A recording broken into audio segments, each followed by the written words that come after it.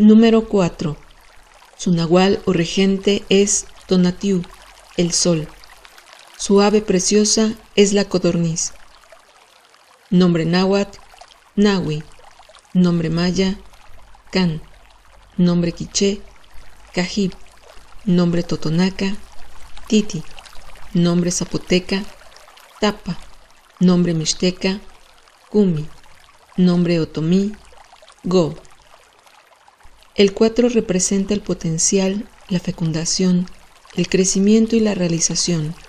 Favorece el aspecto positivo del signo al que acompaña, pero puede actuar de forma inesperada, favoreciendo el negativo. Su consejo es estar atentos y prepararse para los cambios. El signo de águila es el decimoquinto de la veintena. Su nahual o regente es Xipetotec, nuestro Señor desollado. Se orienta al oeste.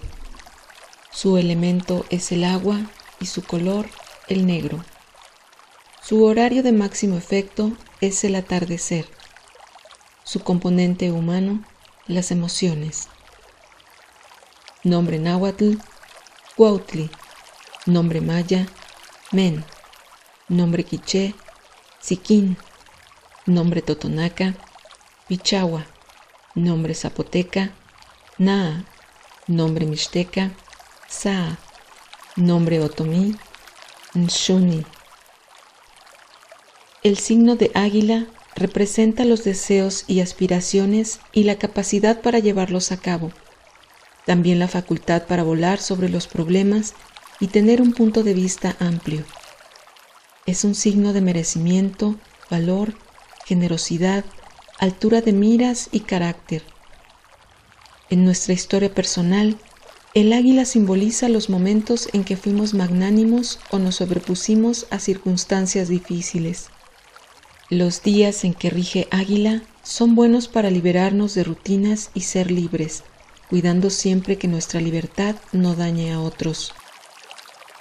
En este signo nacen personas valientes y poderosas, ambiciosas y decididas, hábiles y capaces, con visión de futuro y dispuestas a asumir retos, destinados a alcanzar poder y a ser reconocidas.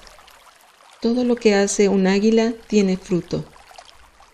En el aspecto negativo, el águila tiende a arrebatar lo que se puede obtener por las buenas, a retener lo que es para compartir, a quedarse con lo que no le corresponde, a meterse en lo que no le interesa y a exponerse y ostentar sin necesidad. Consejo tolteca. Canaliza tu naturaleza guerrera a la búsqueda de la libertad y obtendrás satisfacción espiritual, emocional y material. Evita que tu capacidad para obtener frutos te vuelva arrogante. No te expongas, sé discreto.